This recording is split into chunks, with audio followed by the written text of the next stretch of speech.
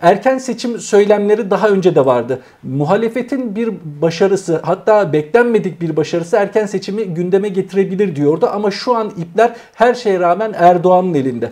Fakat bu saatten sonra Erdoğan tabii ki iki sene sonra işler onun umduğu gibi giderse bir erken seçime kendisi de gitmek isteyebilir. Yani bunlar mümkün. Fakat yarından itibaren Türkiye'nin asıl konuşması gereken konu nedir Cevheri Güven'e göre? Ya şöyle Erdoğan erken seçimlere ancak kendisi kazandığı şartlarda gitti bugüne kadar. Böyle kendisinin kazanabileceği bir güç tazeleme imkanı olursa Erdoğan'ın gittiği bir yöntem. Ama bugünkü konuşmasına Erdoğan'ın bakarsak e, şöyle düşünüyor Erdoğan. Yerel seçimler artık çok önemli değil benim kurduğum rejim itibariyle. Dolayısıyla da bu yerel seçimlerde belediyeleri kaybetmek benim rejimimdeki konsolide ettiğim güç açısından çok büyük bir kayıp oluşturmuyor diye düşünüyor. Ve hani e, o 7 Haziran seçimlerinden sonra ya da e, 2018'deki referandumdan sonraki Erdoğan'ın yüzündeki o şok hallerini hatırlayın. Böyle bir şok hali yok. Fakat yine de psikolojik olarak arka planda o kurduğu bu bitiş değil başlangıç cümlesi bu bitiş kelimesinin, bu bitiş e, meselesinin kendi kafasında da bir yer ettiğini gösteriyor. Ama yarından itibaren muhalefetin yapması gereken e, erken seçim çağrılarından önce e, seçmenin verdiği mesajı doğru biçimde okuyup ona göre hareket etmek. Çünkü seçmen aslında 7 Haziran 2015'te de bir e, mesaj vermişti. Fakat o zamanki muhalefet bu mesajı okuyamamıştı maalesef ve seçmen sonradan tekrar Tayyip Erdoğan'a geri döndü. Muhalefetin yarından itibaren yapıcı Erdoğan'ın dilini reddeden e, bir politikaya dönmesi lazım. Seçmenin mesajını okumak yarın yapılması gereken ilk iş. Evet muhalefet açısından kesinlikle böyle. Adem Yavuz Arslan'a dönelim. Burada şimdi muhalefetin elinde aslında çok güçlü argümanlar var. Daha önce Yeni Kapı ruhuyla sembolleştirebileceğimiz kurulan bir birlik vardı. Yapay bir birlik de diyebiliriz. Zoraki bir birlik de diyebiliriz. 15 Temmuz sonrası üretilen söylemin değiştirilmesi muhalefetin elini güçlendirir mi? Rejimle daha karşıt bir yapı gösterir. Böylece daha büyük geniş bir halk desteği alabilir mi? Muhalefet buradan başlayabilir mi? E, tabii muhalefetin sonuçları nasıl okuyacağına bağlı. Yani muhalefet gerçekten rakamları doğru okuyup tabandan yükselen dalgayı doğru okuyabilir ve doğru analizler yaparsa evet dediğiniz rakam e, dediğiniz gibi doğru sonuçlara da gidebilir ama bütün oy benim oyum, ben başardım, biz çok iyi adaylar belirledik, çok güzel kampanya yürüttük, o yüzden de bu sonuçlar çıktı şeklinde bir illüzyona takılırsa o zaman e, geçmiş olsun 2015'i gibi e, yeniden bir muhalefetin e, heba ettiği sonuçla karşılaşabiliriz. Bakın rakamlar henüz net değil, sonuçlara henüz ulaşmadık ama görünen şöyle bir tablo var. Şimdi bu seçimde Erdoğan'ın 2019, şey, 2019 seçimleriyle 2024 arasındaki farka bakın. Erdoğan'ın kaybettiği yaklaşık 8 milyon oy var Türkiye genelinde. 8 milyon oy kaybetmiş. Bu 8 milyon oyun çok ciddi anlamda e, bir anlamı var. O da şu. Bu 8 milyon oy kalkıp CHP'ye ya da e, başka öne çıkan bir muhalif partiye gitmemiş. Burada çok belirgin bir şekilde Erdoğan'dan kaçış var. Yani bu seçimin kazananı aslında şeyi kaybedeni Erdoğan o kesin net bir şekilde çünkü kendini ön plana koydu ve hani Murat Kurum'u ya da Türkiye'nin herhangi bir yerindeki adayı değil. Her insanlar Erdoğan'a oyladı. Erdoğan bir nevi referanduma çevirdi ama halk da Erdoğan'ın kulağını çekmedi, kulağını kopardı attı. Bu çok net bir şekilde gözüküyor.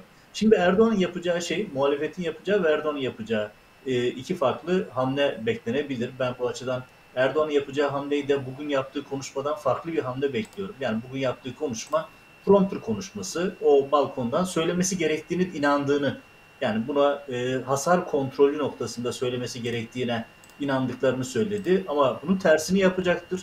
Bunu da daha e, ne, ne yapacaktır kısmında daha ilerleyen bölümlerde açarız ama senin soruna bağlı kalarak söyleyeyim. Yani muhalefetin e, bu dalgayı anlaması gerekiyor. Bu dalga nedir? Ya bir kere ülkede sistemi çökerttiniz. Hukuku çökerttiniz. Bunun altında ekonomi ve halk kaldı. Halk buradan çıkış istiyor. Buradan dönüş ancak ve ancak yıkılan sistemin tamiriyle mümkün olur. O tamiri de muhalefet göze alır ve yaparsa ve bunu da öncelikle iktidarın delini reddederek yapması gerekiyor. İktidarın söylemlerini reddederek yapması gerekiyor.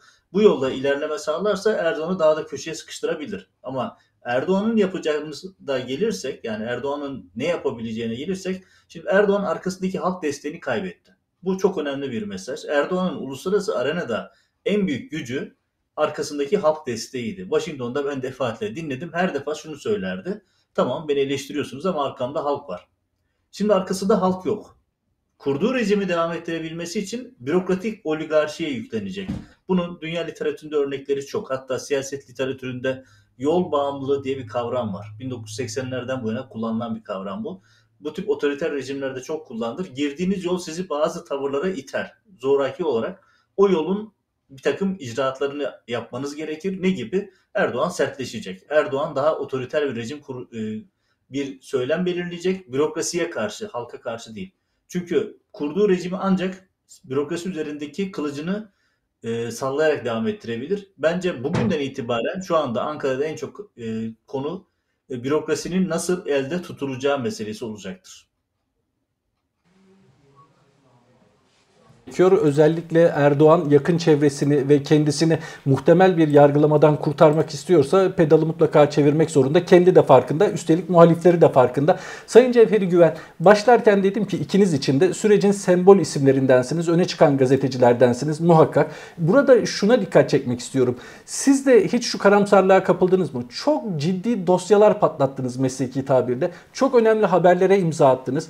Çok ciddi izlenmeler aldı videolarınız her ikinizin de. Fakat insanların şöyle yorumları oldu. Ya evet Adem Yavuz Arslan, Cevheri Güven bu dosyaları ortaya döküyor, saçıyor da ne oluyor? Türkiye'de bir karşılığı yok.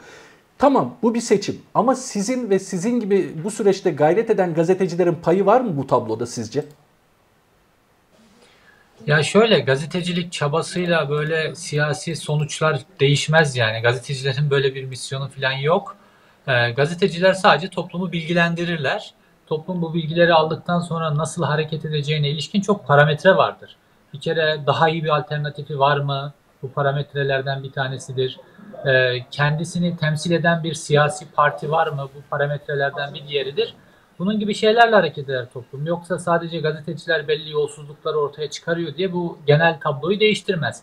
Ama netice itibariyle Türkiye'de her zaman Erdoğan'ın karşısında bir %50 oldu ve bu %50'nin var olabilmesi bu şekilde toplumu bilgilendiren insanlar sayesinde oldu. Yoksa propagandayı tek ele bıraktığınız zaman o propaganda diğer farklı ülkelerde gördüğümüz gibi tek adamların %70'lere %80'lere çıktı ve geri dönülmez noktalara gittiği durumlar ortaya çıkartılabilir, çıkartabilir.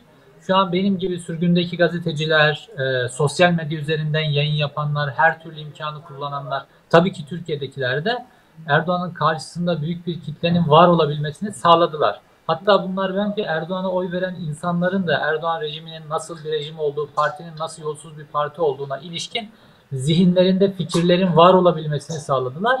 Bugün bu e, siyasi bir alternatifler çıktı ortaya toplumun bu mesajı verebilmesi için. Mesela Yeniden Refah Partisi gibi. Bundan bu sebeple kopuşlar başladı. Dolayısıyla genel tablonun değişebilmesi için bütün yükü gazetecilerin omzuna vermek çok haksızlık olur. Türkiye'de bir şeyleri değiştirebilecek olan siyasi hareketlerin ortaya çıkmasıdır. Kesinlikle bütün yükü sizin omzunuza yüklemek gibi bir amacım yok ama bu soruya beni iten bir izleyici yorumuydu. Kişisel olacak ama siz de mazur göreceksinizdir. Cevheri Bey'i sürekli takip ederim diyor bir izleyicimiz. Bir kez içten güldüğünü görmedim. Bugün gülün lütfen diyor. Ben bunu şu şekilde soruya dönüştüreyim. Mutlaka bu hadiselerin duygusal karşılıkları da var. Sizde de var. Bu akşam sevindiniz mi? Bir sevinç hissettiniz mi bu sonuçta? Ya tabii ülke için sevindirici bir gelişme. Yani ülke çok kötüye gidiyor. Daha felakete gidecek ülke. Ve bu tip böyle tek adamlar daha da kuvvetlendikçe, daha da kuvvetlendikçe bunların hepsinin sonucu ülkeyi götürüp bir savaşa sokmak olur genel itibariyle.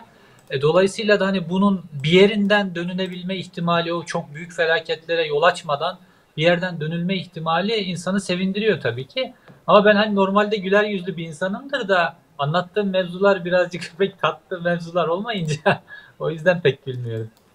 Evet, mafya hesaplaşmasını anlatırken pek de gülemez insan. Haklısınız. Peki Adem Yavuz Arslan'a da aynı soruyu sorayım. Bu akşamın sizde duygusal karşılığı nasıl? Yani şöyle ifade edeyim, biraz daha geniş bir perspektiften geleyim. Şimdi Cevher'in fikirlerine katılmakla birlikte bardağın dolması diye bir teori var ya, bardağın dolmasında gazetecilerin etkisi çoktur. Yani siz sosyal olayların nerede, ne zaman patlayacağını öngörmeniz kolay değil. Bardak yavaş yavaş dolar, dolar, dolar. Bir yer gelir, işte bir tane küçücük hareket, işte Arap Baharı'nda bir seyyar saçının kendini yakmasını düşünün. Amerika'da siyahların işte Rosa Parks'ın otobüste kendine ayıran yere oturmamasını düşünün. Dünyanın her yerinde örnekleri vardır. Bir yere gelirsiniz bir yerde o bardak taşar. İşte gazeteciler o bardağın taşması sürecinde çok aktiftir. Ama bardağı taşıran faktör o biriken enerjiyi yönlendirecek olan yer evet orada Cevher'in tespiti çok doğru. Siyasetçidir. Siyaset ve siyasi partiler o enerjiyi bir yere yönlendirir. Bu haliyle gazetecilerin özellikle sürgün gazetecilerin çok ciddi bir faktör olduğunu kesinlikle hakkı teslim etmek gerekir. Ama bu sadece enerji birikmesiyle çözülebilecek bir şey değil. Bunun doğru kanalize edilmesi gerekiyor. İşte şu an Türkiye'de en kritik nokta bu. Şimdi aynı durumu Gezi Parkı döneminde de yaşadık. Çok ciddi bir enerji birikti ama muhalefet o enerjiyi doğru kanalize edemedi. Şimdi, şimdi eğer aynı şekilde biz bu enerjiyi yani muhalefet bu enerjiyi doğru kullanamazsa Erdoğan'dan kaçan bu kitle tekrar başka kanallara gidecektir ve bu muhalefette birleşmeyecektir. Evet yani gazetecilik biz işimizi yapmaya devam ediyoruz. Biz gazeteciyiz, biz siyasi değiliz, seçimlere de girmiyoruz seçimin kazananı kaybedeni değiliz. Ama bu bize şunu gösteriyor, sorumluluğumuzu daha da arttırıyor. Yaptığımız işler, ortaya koyduğumuz dosyalar, rejimin e, iki yüzlü politikalarını deşifre etmelerimiz tabii ki halktaki e, karar alma mekanizmalarında etkili oluyor. Bu açıdan ben e, bugün biraz daha umutluyum. Yani bu akşamki tablo demek ki halk e, çok renk vermese de e, içten içe bu e, kötü gidişe artık bir yerde dur demek gerektiğini ve Erdoğan'ın o nobran, Erdoğan'ın o halkı aşağılayan tavırlarından daha da rahatsız olduğunu göstermiş oldu. Ben o açıdan e, halkın yine her zaman olduğu gibi hani böyle sessiz kalan, çok renk vermeyen ama yeri geldiğinde tepkisini gösteren bir e, damarı vardır. O damar ön plana çıktı. Bunu göz ardı etmemek gerekiyor. Evet. Burada muhalif liderlere düşen ödev belli ki bu gördüğümüz, arkamızda gördüğümüz Türkiye haritasına yansıyan kırmızı renk hakim tablonun doğru yönlendirilmesi. Ama bu noktada iktidarla ilgili pratik bize şunu sorduruyor. Cevheri Güven'le devam edelim. Biz daha önce AK Parti'nin başarısızlığı yahut da işte skandalları bir şekilde ortaya saçıldığında gündemin değişeceğini hissettiklerinde ne yaptıklarını gördük. Ya bir askeri operasyon ki bu daha geniş ölçekli bir hazırlık gerektiriyordu. Bunun hazırlığı yapıldı. Kuzey Irak'tan bahsediyorum. Yahut da yine masum insanlara hukuksuz hukuksuzca tutuklamalar, gözaltıları. Yarından itibaren biz Kuzey Irak operasyonunu daha ciddi bir şekilde konuşacak mıyız ve yine o masum insanlara operasyonlar gündeme gelebilir mi? Bu seçim başarısızlığı daha az konuşulsun diye bekliyor musunuz bu tür gelişmeler? Ya şöyle hani e, Kürtlere yönelik tutuklamalar ya da işte Gülen cemaatine yönelik tutuklamalar, muhalif insanlara yönelik tutuklamalar bu genel havayı değiştirecek şeyler değil artık. Bunların modası geçti. Ama hani 7 Haziran seçimlerinden örnek verirsek mesela 7 Haziran seçimlerinden önce ben Star Gazetesi'nin onun öncesinde işte e, Star Gazetesi'nde haber müdürü olduğum için Yalçın Akdoğan'la falan çok samimiydik o dönem. Yalçın Akdoğan 7 Haziran seçimlerinden önce seçimi kaybediyoruz diyordu mesela çok net bir biçimde. HDP tek başına girdiği için seçimi kaybediyoruz diyordu. Ama planları da hazırdı yani. Çok hazırdılar. Seçimi kaybedeceğiz. Ondan sonra milliyetçilere doğru döneceğiz. Ve ondan sonra çözüm masasını darmadağın edeceğiz ve bir şeyler yapacağız. Ve tabloyu değiştireceğiz. Hakikaten de değiştirdiler. İşte şimdi de hani Erdoğan anketlerle çok sıkı çalışan bir lider ve e, bu seçimlerden böyle bir sonuç çıkacağını gayet iyi görmüştür anketlerde. Ve bunun öncesinde de oturmuşlardır, çalışmışlardır. Süreci nasıl yöneteceğiz, algıyı nasıl yöneteceğiz, parti teşkilatını nasıl e, diri tutacağız, topluma nasıl mesajlar vereceğiz vesaire. Bugünkü konuşması dahi bunların hepsini planlamışlardır. Bu planların tutup tutmayacağı Erdoğan'ın sadece elinde değil. Burada muhalefetin nasıl hareket edeceği çok önemli. Çok daha önemli, Erdoğan'dan daha önemli. Fakat kendileri açısından bir e, strateji geliştirdiklerine ben eminim. Bu stratejinin ne olabileceğine ilişkin ta seçimin öncesinde gerek Milli Savunma Bakanı, gerek MİT Müsteşarı, gerek Dışişleri Bakanı'nın Irak'a defaatle yaptığı ziyaretler, Suriye'ye yaptıkları ziyaretler, ondan şu an uluslararası kamuoyunun özellikle bu Rusya kaynaklı bir savaş e, atmosferinin oluştuğu bir ortamda Batı ile nasıl köprüler kurulacağı vesaire hem içeriğiyle ilgili hem dışarıyla ilgili Erdoğan iktidarı oturmuş ve bir projeksiyon yapmıştır. Tıpkı 7 Haziran seçimlerinden önce olduğu gibi. Dediğim gibi 7 Haziran seçimlerinden sonra muhalefet çok berbatça davrandı. Halkın verdiği mesajı, halkın verdiği gücü kullanamadılar. Ve Erdoğan kendi stratejisini uyguladı. Orada Kürtlere yönelik şeytanlaştırma söylemine muhalefet maalesef bunu kıramadı. Muhalefet de bu söylemin bir parçası oldu maalesef. O dolayısıyla Erdoğan'ın oyununu oynamış oldu muhalefette. Şimdi Erdoğan'ın oyununu oynayıp oynamayacaklarını göreceğiz. Ama Erdoğan hani böyle bu seçim sonuçlarını e, ne yapalım artık bundan sonra e, bizim devrimiz kapandı. Bu şekilde kabullenmeyecektir. Muhakkak bununla ilgili hamleler yapacaktır.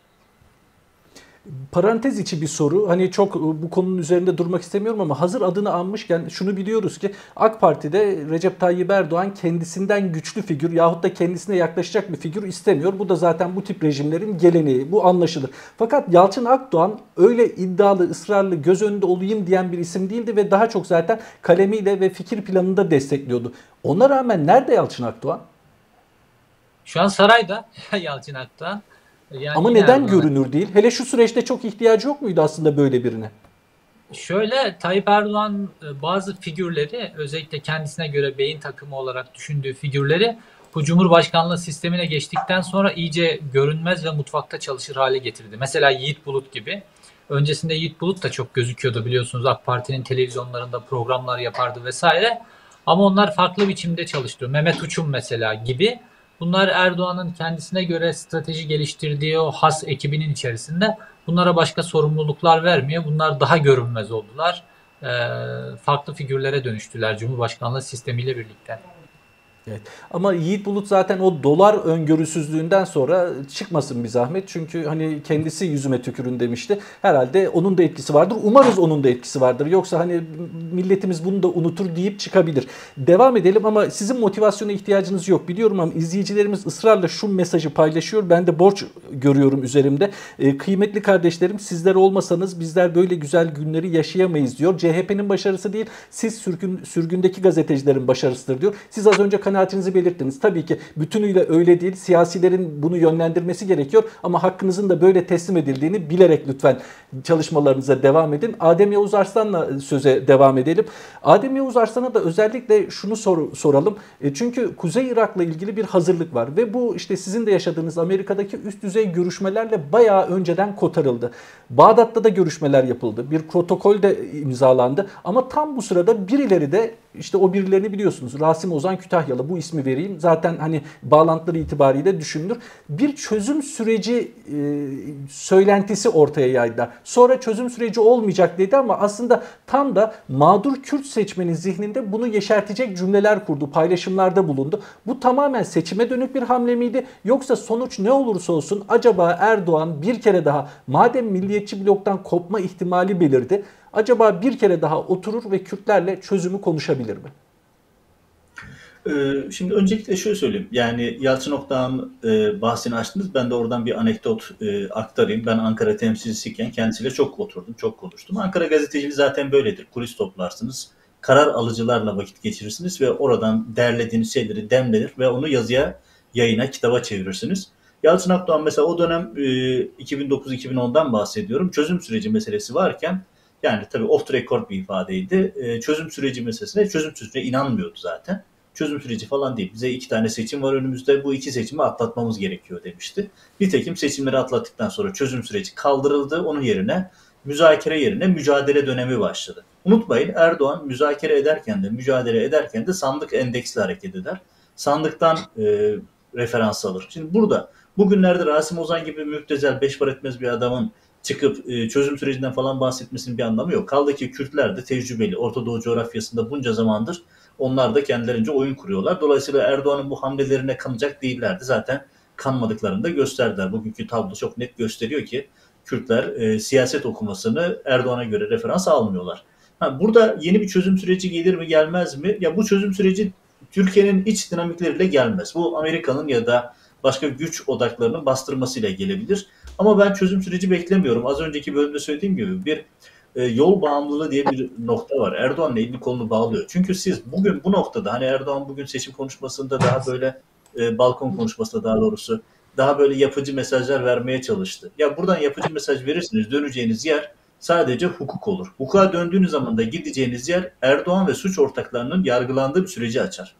Erdoğan böyle bir yola dönemez. Buradan sonra en fazla döneceği şey bürokrasiye daha fazla baskı yapıp bu zulüm sistemini kalıcı hale getirmek. Yani biraz daha Suriye Esad modeli. Yani elit elitist bir e, azınlık kadroyla çoğunluğa hükmetme modeli. Erdoğan bunun peşinde. Ama Erdoğan'ın işi biraz daha zor. Neden zor? Birincisi şu. Hep e, söylediği arkasında halk yok. İkincisi ekonomik kriz.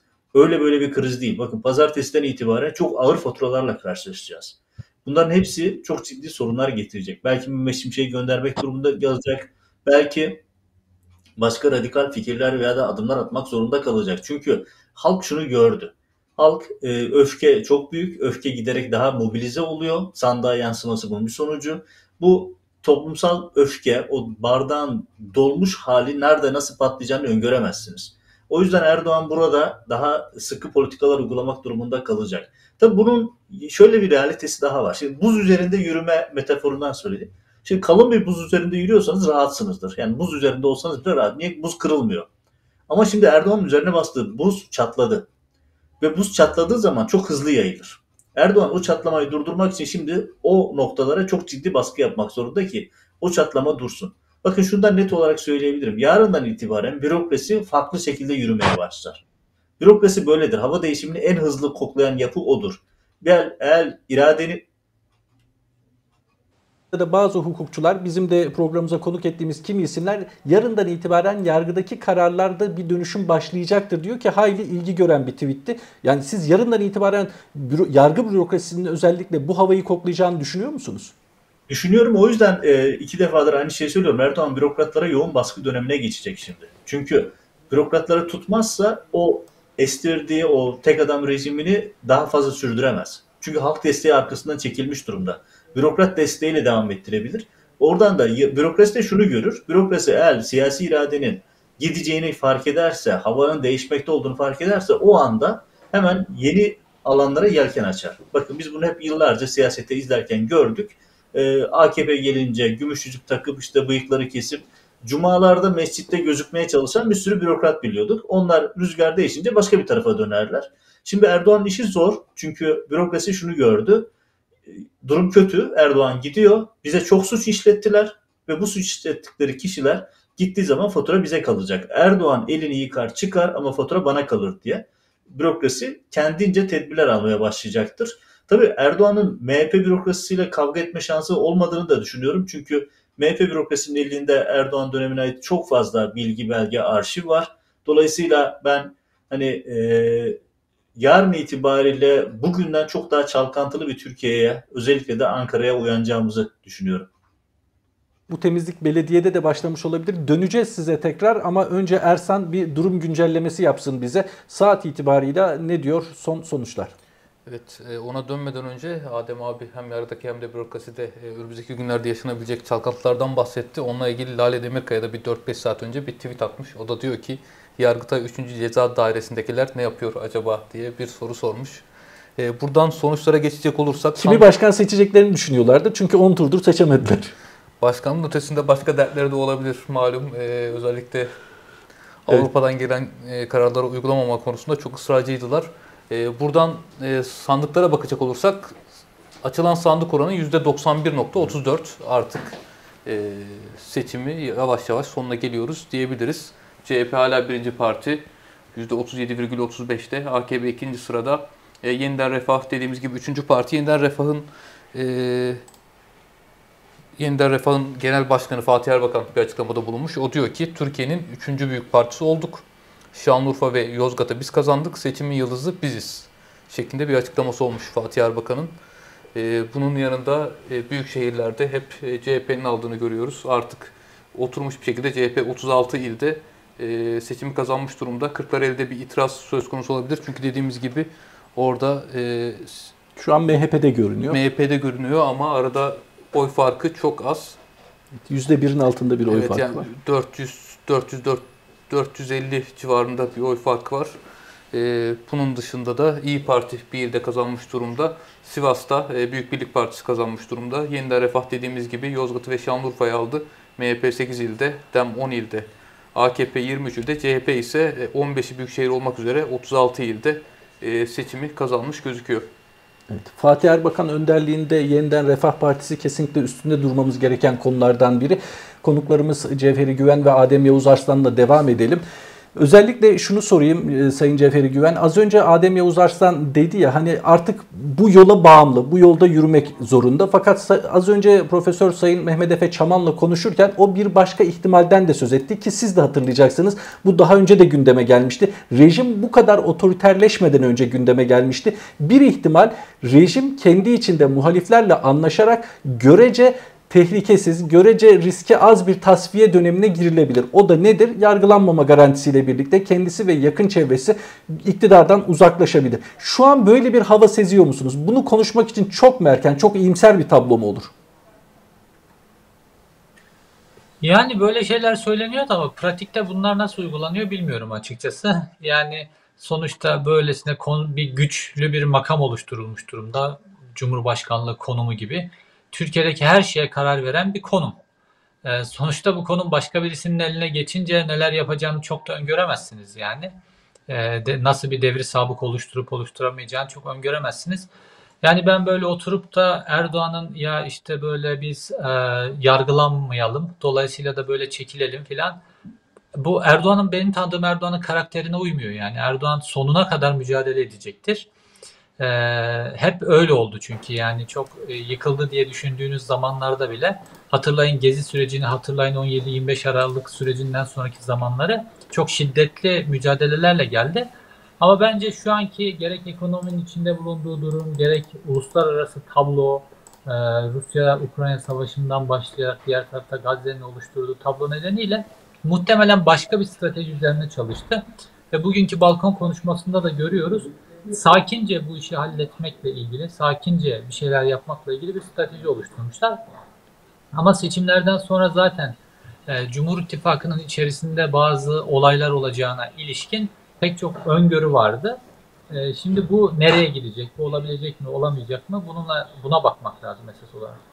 Bununla ilgili bir öngörünüz var mı? Özellikle Bahçeli'nin 10 gün ortalıkta görülmemesi, seçim çalışmasına katılmaması sadece geçirdiği ev kazasıyla mı ilgili? Yahut hani Bahçeli de mesajı aldı, kendi hazırlıklarını mı yapıyor? Muhtemel bir yol ayrılığı görüyor musunuz? Yani şöyle e, sadece yani Bahçeli'nin o geçirdiği kazayla ilgili değil. MHP teşkilatları bir bütün olarak hiç çalışmadılar bu seçimlerde. Yani MHP çalışmayarak kaybettirdi Adalet ve Kalkınma Partisi'ne. Özellikle İç Anadolu illerinde filan MHP'nin e, yaptığı çalışmalar çok etkili oluyordu. Ayrıca MHP'nin sahaya inmesi Erdoğan'a da bazı söylemler oluşturma fırsatı veriyordu. Özellikle milliyetçi söylemler, polarizasyon vesaire. Mesela Erdoğan'ın bir hamle yapmadan önce Devlet Bahçeli ve MHP onun altyapısını oluşturuyorlardı bazı söylemlerle. Erdoğan o pası alıyordu. Bunların hiçbirisini yapmadı MHP. Dolayısıyla bir biçimde Erdoğan'a kaybettirecek bir strateji izlediler. Fakat geçtiğimiz seçimlerden sonra özellikle Cumhurbaşkanlığı seçimlerinden sonra e, yani Adalet ve Kalkınma Partisi'nden sızan kulislerde MHP'ye yönelik ciddi bir tasfiye olacağına ilişkin bir kararlılık vardı. Fakat bunu ertelediler çeşitli nedenlerle. Bu ertelemenin bu yerel seçimlerden sonra hayata geçeceğine ilişkin de bilgiler vardı. Fakat şimdi böylesine bir tablo ortaya çıktıktan sonra Erdoğan bunu yapar mı yapmaz mı bilmiyorum. Ama e, MHP'den bir biçimde kurtulmanın dışında da Adalet ve Kalkınma Partisi'nin tekrar ayağa kalkma ihtimali yok. Yani MHP ile birlikte bir koalisyonun içerisinde olduğunuz zaman toplumun diğer kesimleriyle barışma ihtimaliniz sıfır. Ve MHP ile birlikte olduğunuz zaman yaptığınız bazı şeylerden aldığınız sonuçlar da bitti. Yani Kürtlere yönelik operasyon, Gülen cemaatine yönelik operasyon, diğer muhaliflere yönelik devam eden operasyonlar vesaire bunlardan yenilecek ekmek bitti. Şu an Tayyip Erdoğan'ın MHP'den kurtulup başka bir e, toplumsal zemin oluşturmaya ihtiyacı var. E, bence Erdoğan da bundan başka bir yol olmadığını görüyor. E, ama e, burada MHP'li kadroların e, yapacağı hamleler, buna karşı yapacağı hamleler ellerindeki dosyayı dosyaları böyle medya ile paylaşmaya çalışmak vesaire bu şekilde olmaz yani. MHP böyle mücadele etmez. MHP kadroları çok farklı şekillerde mücadele ederler. E, illegal yollarla mücadele ederler. E, bunları da göreceğiz. E, uykuya mı geçecek MHP kadroları e, yoksa e, mücadele mi edecek Erdoğan rejimiyle? Evet, aslında yol ayrımı burada önem kazanıyor. Çünkü tamam bir şekilde siyasi ittifaka son verebilirsiniz ama bunu nasıl yapacağınız daha önce birlikte ne yaptığınıza bağlı. Adem Yavuz Arslan'la devam edelim. MHP ile Adalet ve Kalkınma Partisi bir ortaklık kurdu. Fakat bu ortaklık kurulduktan sonra gördük ki mafyayla da üçüncü bir ortak gibi hareket etmeye başladılar. Alaaddin Çakıcı ismini anmam yeterli. Zaten diğer isimler de ortada. Şimdi böyle bir ortaklıkta ayrılma söz konusu olduğunda bu ayrılığı kendi tabanınızda daha makul göstermek, bir zorunluluk olarak göstermek için belki de adli bir takım dosyalar sunmanız gerekir. Adalet ve Kalkınma Partisi ülkücü kadrolarla, bürokratlarla ilgili bu tür dosyaları hazırlayabilir mi? Hazırlarsa Cevheri Güven'in dediği gibi ya evet hani bizim de bir davamız var gidip paşa paşa yargılanır bu kadrolar? Nasıl bir ayrılık süreci söz konusu olur eğer gündeme gelirse? Şimdi ortada reel bir sorun var. O da hem Bahçeli'nin hem de Erdoğan'ın yaşı ve sağlık sorunu. Şimdi her iki lider de kendisinden sonra ikinci bir isim bırakmıyor. Yani tek adam rejimlerin ortak özelliğidir zaten. Hani MHP kendine özgü bir parti. O töre der, e, gelenek der, devlet der. Devlet Bahçeli'den sonra ikinci bir isim yok. Şimdi Devlet Bahçeli'nin halini gördük. Yani bugün görünen tablo ortada. Yani yaşı da, sağlığı da uzun süre devam etmeye müsait değil. Yani yakın bir zamanda sahneden çekilebilir. Hani bu şey anlamda söylüyorum siyaset sahnesinden çekilebilir. Ama öbür taraftan Erdoğan'ın da hele Erdoğan gibi hırslı birisinin bugünkü tablo sonrasında bu gece uyumayacağını söyleyebilirim. Yani Erdoğan'ı tanıyoruz, biliyoruz. Erdoğan'ın ne kadar hırslı olduğunu da biliyoruz. Dolayısıyla karşımızda temel bir sorun var. Yani bu iki iktidar e, bileşenleri 4 yıl, 4,5 yıl seçim yok diyor ama iki partinin de yorgun, yaşlı ve hasta liderleri var. Ve ikinci adamları yok. Ve arkasından şöyle bir realite var. Erdoğan damadı kenara çekti, oğlu ön plana çıkartıyordu, Bilal'i sunuyordu. Ama bugünkü tablo dedi ki hayır kardeşim veliaht İmamoğlu'dur. Yani Erdoğan'ın seçim kampanyası kendi eliyle İmamoğlu'nu veliaht yaptı. Bütün seçim mitinglerinde kendisini ön plana çıkarttı. İmamoğlu ile sataştı. İmamoğlu'nun önünü kesmeye çalıştı. Ve veliahtı kendisi belirledi. O da İmamoğlu. Üç kez seçimi kazanmış ve şöyle düşünün. Bir tarafta İmamoğlu öbür tarafta tüm devlet vardı. Bakanları, bürokrasi, emniyeti, valisi, oyu hatta astronot bile gezdirdiler meydan meydan. Ama sonuçta İmamoğlu hepsini geçti. Bu da dedi ki veliaht benim mesajı net bir şekilde verildi. Şimdi bütün bu dengeler e, şeyleri bozuyor. Yani şimdi bir takım planlar yapıyorsunuz ama öbür tarafta saha şartları sizin planınızı uygulatmayabiliyor. Erdoğan'ın kafasında MHP'li bir şekilde yolları ayırayım. Bunlar bana çok bela oldu. Seçimden sonra gideyim 4,5 senede önüm açık diye bekliyordu. İşte Washington'a mesela 9 Nisan'da şey 9 Mayıs'ta gelecek. İşte efendim benim o size soruluyor halk... özellikle. Biden'la görüşmesi bu tabloyu biraz değiştirebilir mi? Yani içeriye dönük mesajlarla gelebilir mi? Ben hala güçlüyüm mesajını verebilir mi Washington ziyaretinden sonra? Ona geleyim ama şimdi şöyle söyleyeyim. Yani şartlar değişti. Bugün e, Erdoğan'ın planladığı, kurmayı planladığı oyun artık yok. Yani o Ankara'yı ve İstanbul'u en azından İstanbul'u alırım. Türkiye genelinde konsolide ederim kendimi. Bu rüzgarla 4,5 sene giderim diye umuyordu. Ama bugün halk dedi ki hayır kardeşim yeter. Yani biz senden artık bıktık. Bugünkü halkın verdiği mesaj bu. Halkın verdiği mesaj rakamsal olarak da uzun uzun anlatabilirim ama milleti yormayalım. Gecenin bir saati oldu. Ya yani AKP'den giden oylar net bir şekilde bunu gösteriyor. Erdoğan'dan artık bıkmış. Erdoğan'ı bir çözüm merciği olarak görmeyen bir tabanı var. Kendi kitlesi var. Yeniden refaha giden, CHP'ye giden oylar bunu açık açık gösteriyor. Şimdi böyle bir tablo içerisinde Erdoğan'ın eli çok zayıfladı. Yurt dışında da çok zayıfladı. Soruna geleyim. Çünkü hep Amerika'daki gücü şuydu. Yani Amerika'da hep söylenen şu. Yıllardır buradayım. 10 yıl oldu Amerika'ya geleli. 10 yıldır Amerikan siyasetini izliyorum. Hep söylenen şey şuydu. Ya Erdoğan'ın alternatifi kim? Alternatifi yok ki. Şeklinde yorumlar yapılırdı. Bugünkü seçim dedi ki Erdoğan'ın alternatifi var. İmamoğlu. Net bir şekilde gösteriyor. Kaldı ki İmamoğlu profiliyle Amerika daha kolay uzlaşabilir, daha kolay çalışabilir. O tip politikalara da daha e, daha kolay uzlaşabileceği bir isim. Bu yüzden Erdoğan'ın Beyaz Saray ziyareti Erdoğan için düne oranla bugün itibariyle şu saat itibariyle %50 oranda güç kaybetti. Çünkü öbür türlü geldiğinde Beyaz Saray'da muhtedir bir lider olarak gelmişti, gelecekti. Ama şimdi arkasında halk desteğini kaybetmiş, ağır yara almış ve toparlanması çok zor bir yara. Hani şöyle söyleyeyim. Hani Titanic mesela öyle bir yara aldı. Devasa gemi hani bunu haşa tanrı battıramaz falan diyorlardı ya. Er, AKP'lilerde de öyle bir rüzgar vardı. İşte bir tane AKP'li başkan yardımcısı İmamoğlu kazanırsa kafamı keserim falan diyordu. Bu Titanic sendromu. Bize bir şey olmaz sendromuydu. Ama Titanic öyle bir yara aldı ki o devasa gemi battı. Şimdi aynı yarayı Erdoğan da aldı. Ve tekrar söylüyorum bakın bu çok konuşulmayan bir konu ama net olan bir tablo var. Her iki lider hem Bahçeli hem Erdoğan yaşlı, hasta ve nefesi uzun bir maratonu götürecek kondisyona sahip değil. Bu da önemli bir faktör. Düşünülmesi gerekir. Evet.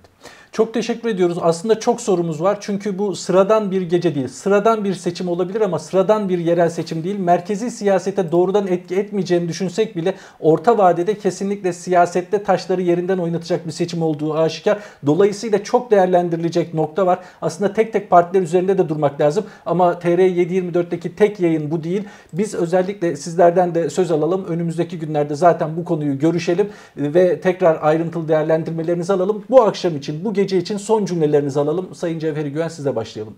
Son cümlelere. Ya hayırlı olsun. Umarım hem iktidar hem muhalefet bu seçimlerden doğru sonuçlar çıkarır. Toplumun verdiği mesajı doğru biçimde alırlar.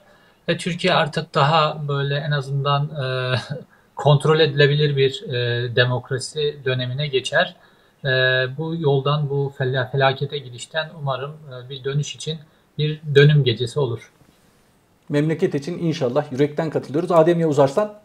Evet, izleyicilerimizin yorumlarını okudum, not aldım. Ona dair bir yayın yapacağım. Yani kendilerini ya biz konuşuyoruz, bizi muhatap almıyorlar diye düşünmesinler. Onu özellikle not edeyim. Ben e, mizahi bir e, bölümle e, son noktayı koyayım. E, Perinçek e, kendi kanalında seçimin kazananı olduğunu söylüyordu. E, Türkiye'nin birkaç yerinde muhtarlık kazanmışlar. Ya Perinçek'teki özgüven, Perinçek'teki e, hani polyanacılık demeyeyim de nasıl edeyim bu hayata pozitif bakma e, yeteneğinin bir kısmına sahip olmak isterdim. Evet kesinlikle. Çok teşekkür ediyoruz. İyi çalışmalar diliyoruz. Tekrar görüşeceğiz. Tekrar görüşmek üzere. Hoşçakalın.